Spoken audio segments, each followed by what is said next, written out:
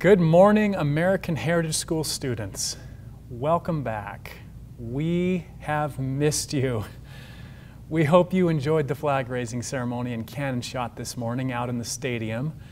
My name is Mr. Beckwith. I'm the principal.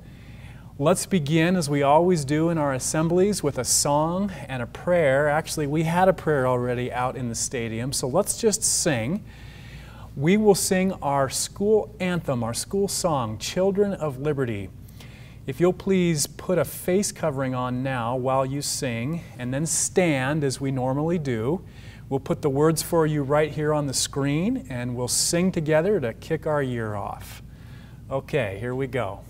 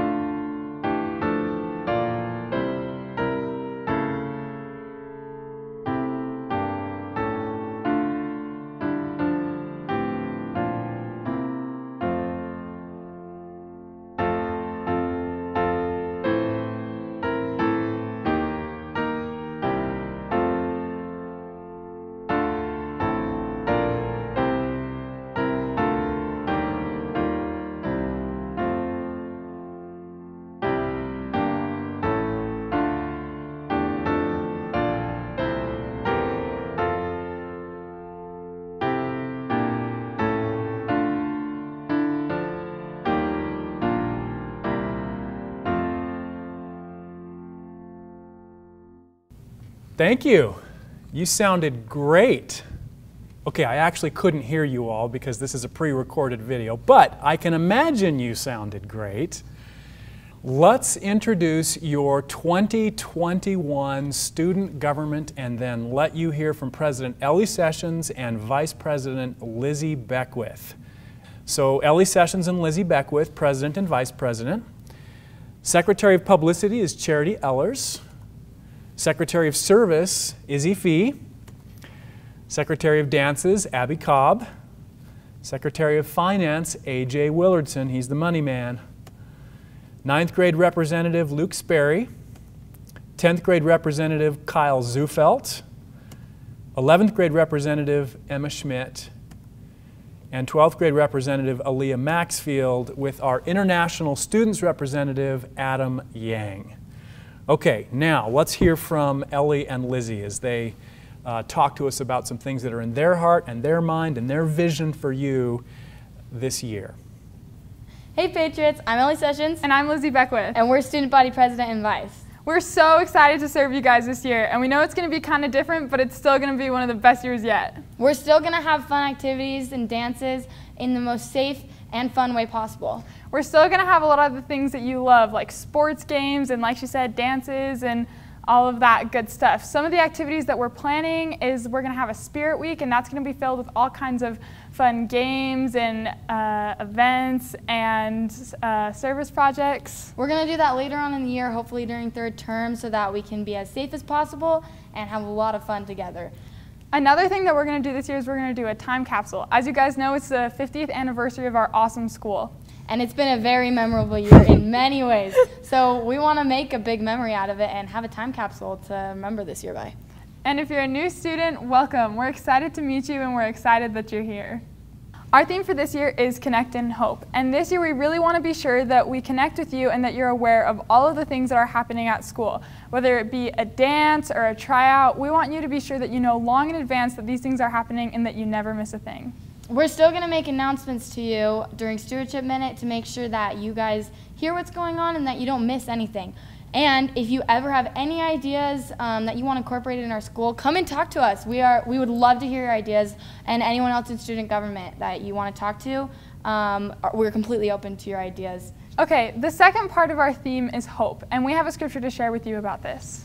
In 2 Nephi chapter 31 verse 20 it says, "Wherefore you must press forward with a steadfastness in Christ, having a perfect brightness of hope and a love of God and of all men."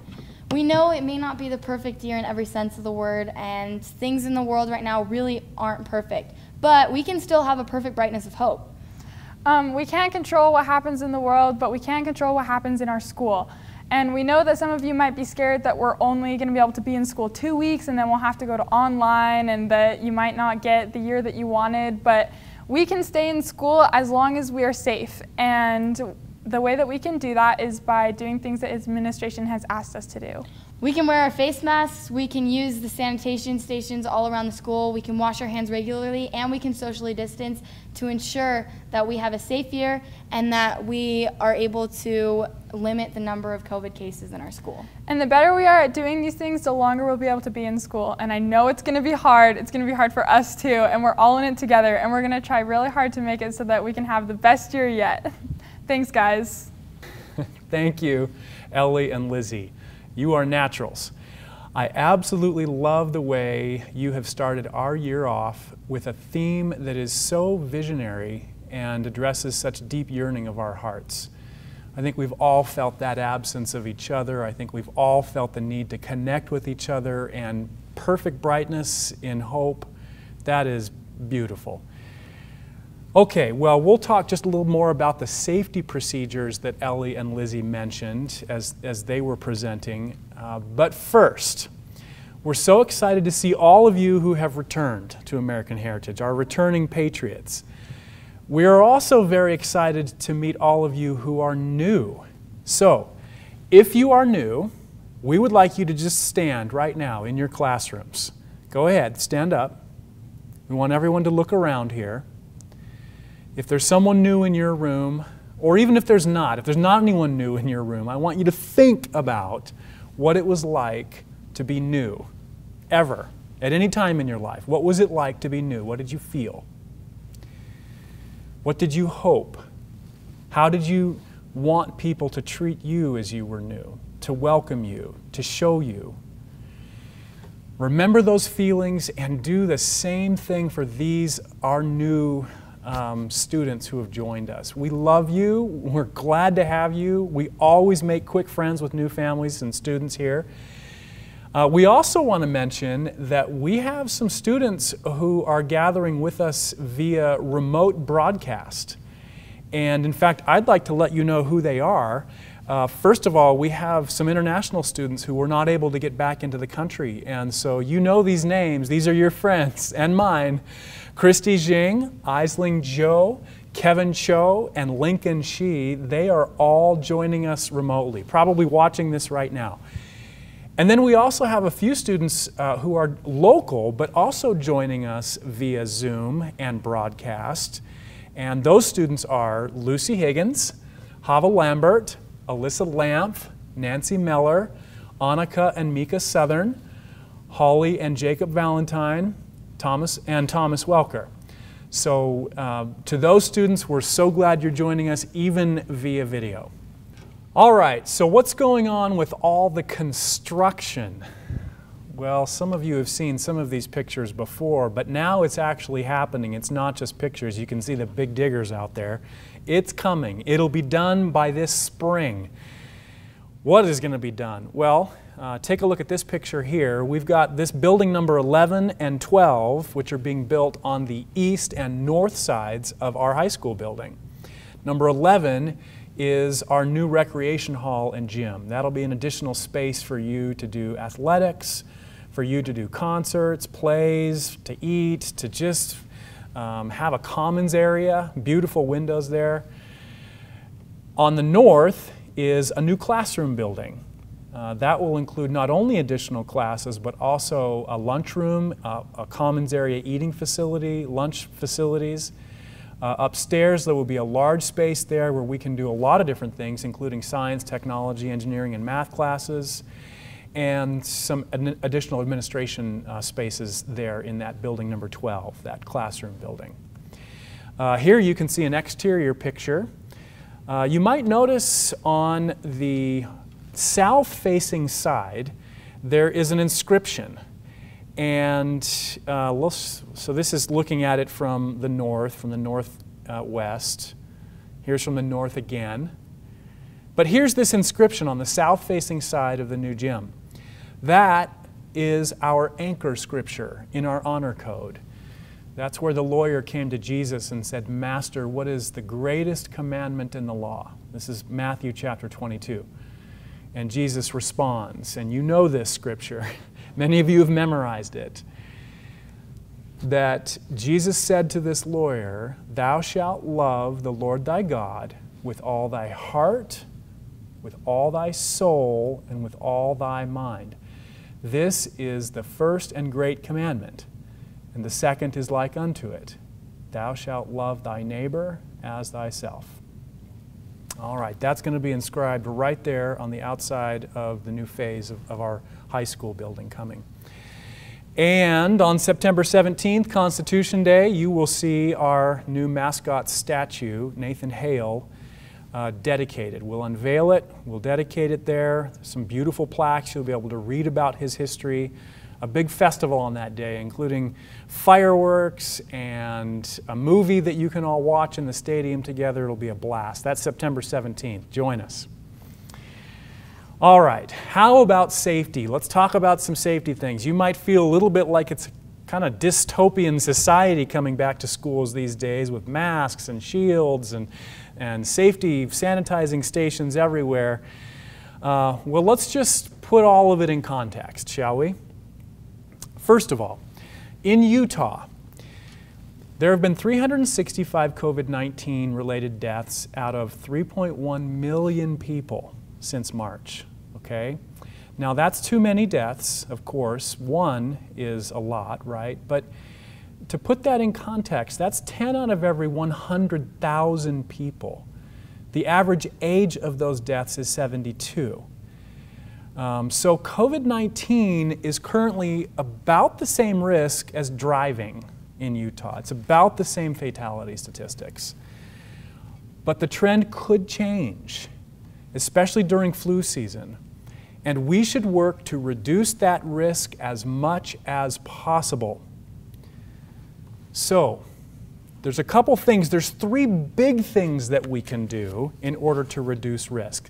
The first one is physical distancing. And I think you're all starting to get used to what that means six feet or more, right? The second one is regular hand washing and sanitizing. And we're making that easy for you everywhere. Sanitize stations, sanitizing stations, and disinfectants and wipes in your classrooms. There's just lots of things you can use to stay clean. And the third one is face coverings. And that's the one we need to spend a little bit more time on here in this assembly. Okay? So, um, we have nearly 100 individuals in our school community students, teachers, and family members who are at high risk of serious health complications if they get COVID 19. They are your friends and they are your family and mine. That's the first reason that we want to take safety seriously, is because there are people who are at risk whom we love. Also, these safety procedures are required, many of them are required by the state health department and our local health department in all public and private schools. And we follow state and local department, health department directives. Okay? Thirdly, and maybe even more important to you, I don't know, I hope not more important than the first thing I just said here, but this third bullet reducing COVID 19 risk means increasing our chances of staying together on campus. And Ellie and Lizzie pled with you. They, they talked to you about that in their presentation just now, that the better we do at reducing risk, the more likely it is that we can stay together on campus. It doesn't mean if somebody gets sick, it's their fault. It doesn't mean that if we have to close a class or quarantine the school for a week or two at some point in the fall that it's any specific person or group's fault. It just means that we can do some things together to reduce that risk, right? Okay, well, some of you might ask, or you've had conversations with your families, or you've heard people say, but face coverings and face masks, some people will say, is it really the law? Well, people argue about this a lot. The short answer is yes, it is the law, unless you want to try to convince the state and local health department that it's not the law, and I'll just say to you, good luck.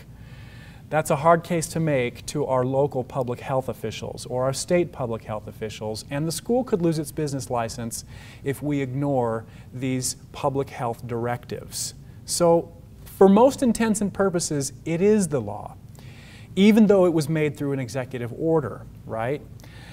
And in the meantime, while we're arguing about whether it's the law or not, and again, remember, we're doing this mostly because it's safe, it's better to reduce risk for those people who, whom we love, right?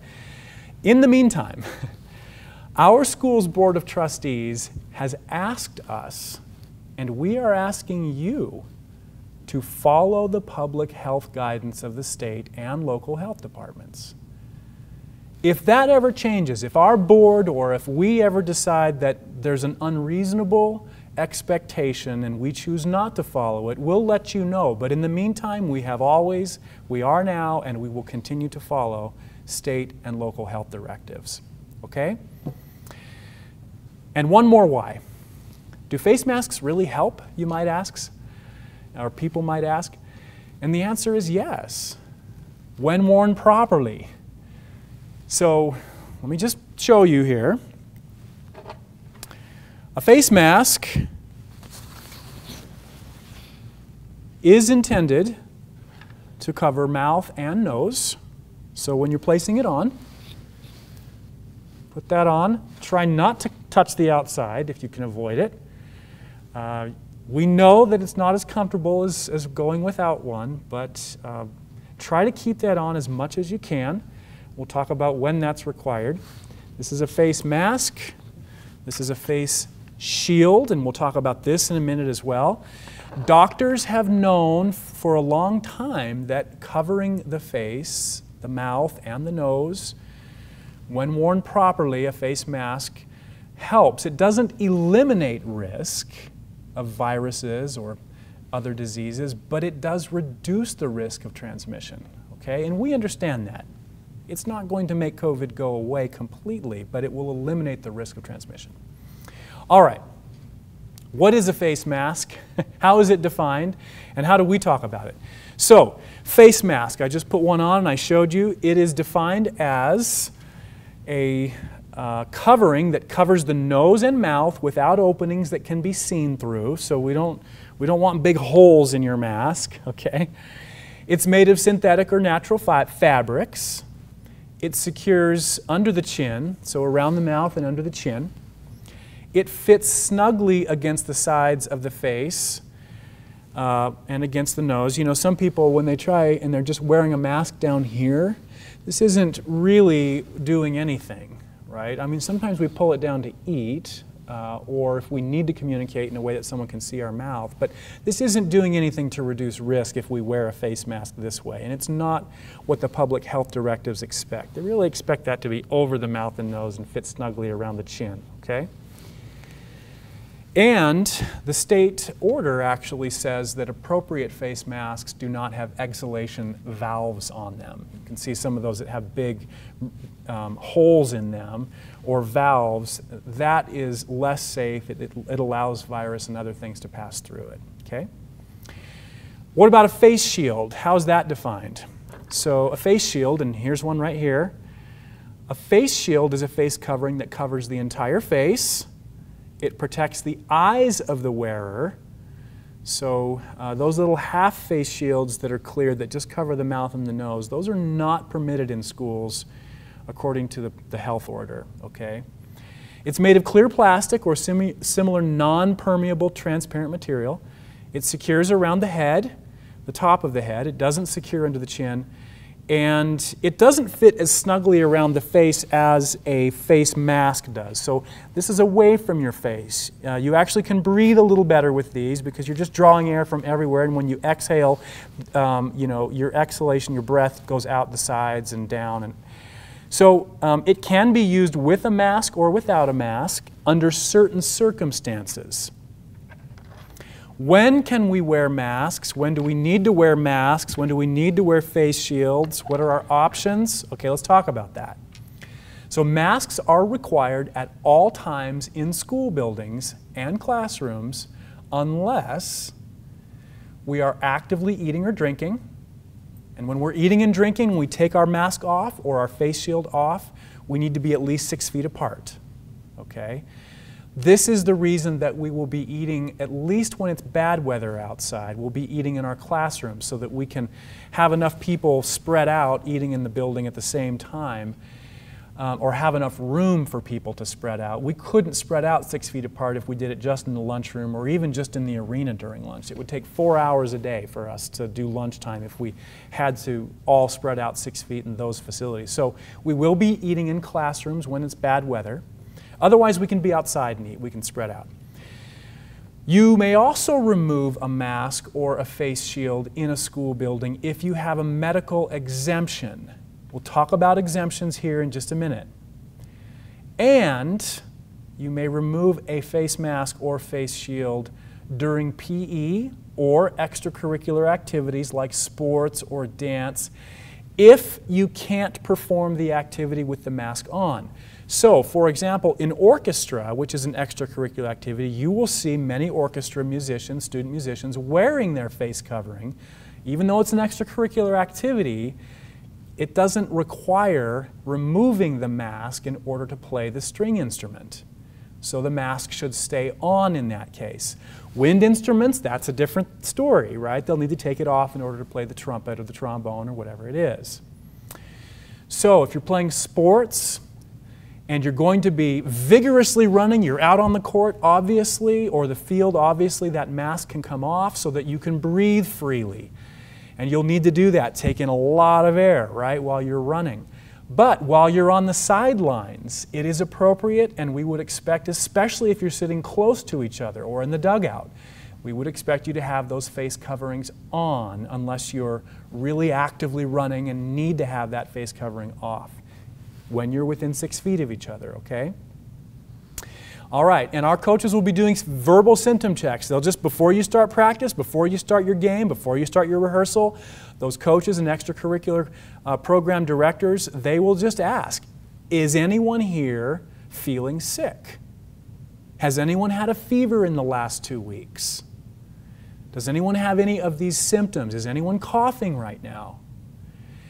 And if so, we'll just have you wait until you've been checked out by your parent and, and make sure that it's not COVID 19, okay?